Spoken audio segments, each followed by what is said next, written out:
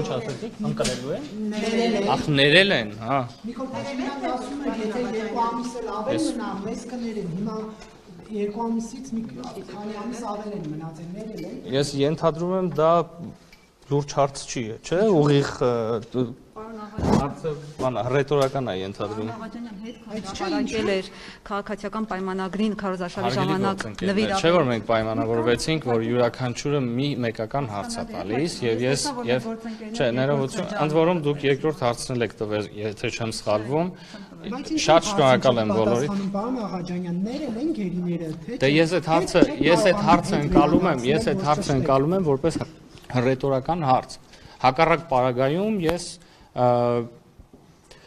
Նիկոլ Փաշինյանը ռետորական ելույթ է ունենում։ ես կարծում եմ ձեր հարցը ռետորական է։ Հակառակ դեպքում ես կարծում եմ, որ լրագրողական լրագրող լրագրողի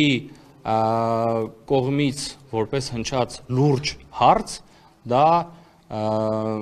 իմ ընկալումն եմ ասում իմ սուբյեկտիվ գնահատականը